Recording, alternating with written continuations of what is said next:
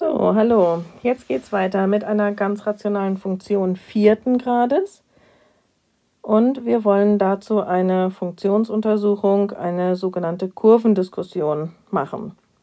Wir wollen durch die Kurvendiskussion die Skizze annähernd darstellen können, um nicht eine ausführliche Wertetabelle machen zu müssen. Okay, die Nullstellen. Das heißt, wir brauchen eine notwendige und hinreichende Bedingung und die haben wir mit f von x ist gleich 0. Das heißt, wir nehmen den Funktionsterm 0,5 x hoch 4 minus 4x Quadrat plus 6 und setzen den 0. Jetzt muss man überlegen, x hoch 4 kann man natürlich alles mit dem Taschenrechner lösen, das ist klar. Aber wie löst man so etwas ohne Taschenrechner? Wir erkennen, hier ist x, hier ist x, aber hier ist kein x. Also ist x ausklammern, kommt schon mal nicht in Frage. Hier erkennt man jetzt aber x hoch 4 und x Quadrat und es gibt kein x hoch 3 und es gibt auch kein x. Und das ist immer ein Zeichen für eine sogenannte biquadratische Funktion. Und da gibt es einen besonderen Trick, um so eine Gleichung dann zu lösen. Und zwar durch Substitution. Substitution heißt auf Deutsch Ersetzung. Und was ersetzen wir? Wir ersetzen einfach x als z. Das ist hier unser Trick. Das heißt, aus x hoch 4 wird dann z Quadrat. Also können wir schreiben 0,5 z Quadrat minus 4 aus x Quadrat wird z. Hier ist ja kein x mehr, also bleibt die 6 einfach bestehen. Und wir sehen wieder, wir haben eine quadratische Gleichung. Also Kurvendiskussion heißt, Gleichungen lösen. Biquadratische Gleichungen, hoch 4 Gleichungen, hoch 3 Gleichungen, hoch 2 Gleichungen, lineare Gleichungen. Da muss man wirklich ganz, ganz sicher sein. Um die PQ-Formel machen zu dürfen, müssen wir erst mit 2 multiplizieren, damit vor dem z-Quadrat eine 1 steht. Minus 8z plus 12 ist gleich 0. Jetzt dürfen wir die PQ-Formel anwenden z12 ist gleich, denn wir wollen ja jetzt z ausrechnen, minus p halbe. Also wird das zu plus. 8 halbe ist 4, plus minus die Wurzel aus, das was da vorne steht quadrieren, minus q. Das ist unser q, also ist es minus 12.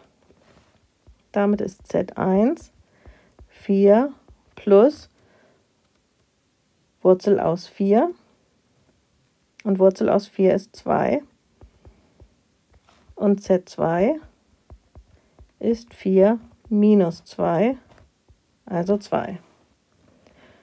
Jetzt ist aber ganz wichtig die Rücksubstitution.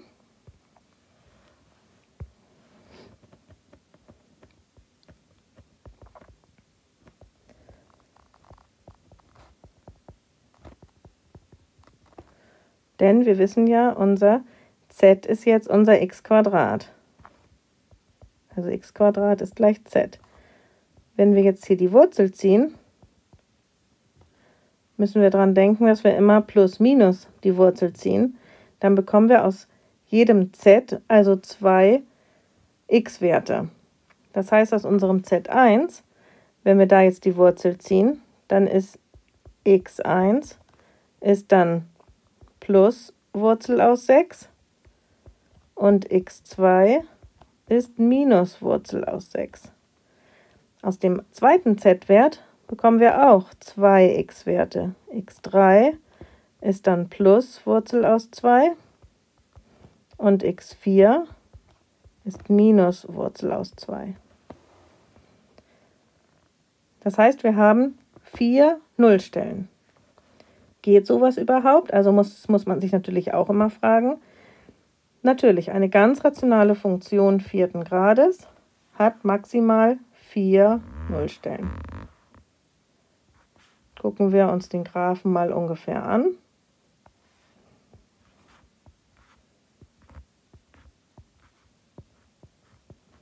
Dann sehen wir, sagen wir mal, hier ist 1 und hier ist auch 1. Hier ist die x-Achse, hier ist die y-Achse. Auch wenn es nur eine kleine Skizze ist, bitte immer sorgfältig beschriften. Das heißt, wir haben jetzt eine Nullstelle bei plus Wurzel 6. Wie groß ist Wurzel 6 ungefähr? Wurzel 4 wäre 2, Wurzel 9 wäre 3, also muss das hier irgendwo dazwischen liegen. Minus Wurzel 6 entsprechend auch. Plus Wurzel 2 ist ungefähr 1,4 und minus Wurzel 2 das sind unsere vier Nullstellen. Die Nullpunkte dazu heißen jetzt n1, Wurzel 6 und 0. Wenn euch das mit der Wurzel komisch vorkommt, dann gebt in den Taschenrechner einfach den exakten Wert ein. Und dann habt ihr ungefähr eine Kommazahl, die ihr natürlich genauso hier dahin schreiben könnt.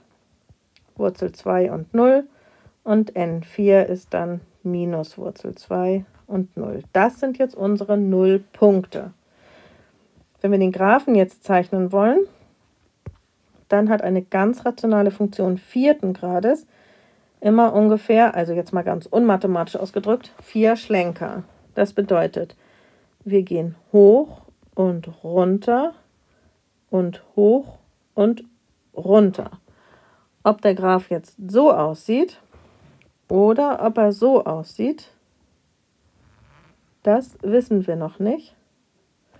Das kann man entweder durch äh, das Ausrechnen von ein paar Funktionswerten rausbekommen, aber ich mache es immer gerne, indem ich mir einfach die großen x anschaue, also zum Beispiel die 100 einsetze.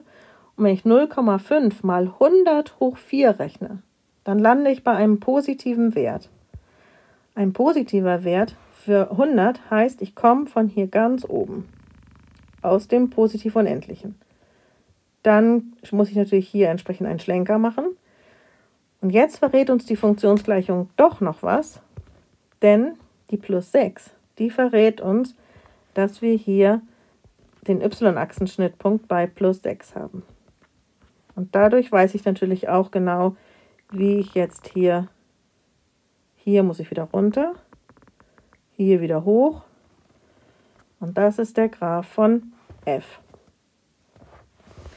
Jetzt seht ihr natürlich, ein bisschen ungenau bin ich natürlich noch hier bei den Extremstellen. Und wir erkennen ein, eine ganz rationale Funktion vierten Grades, hat also maximal vier Nullstellen, hat maximal drei Extremstellen und hat maximal zwei Wendepunkte. Die Wendepunkte befinden sich immer zwischen dem Hochpunkt und dem Tiefpunkt. Genau, aber das erkläre ich euch im nächsten Video, wenn wir dann die Extremstellen berechnen und auch die Wendestellen. Okay, das war's und viel Spaß.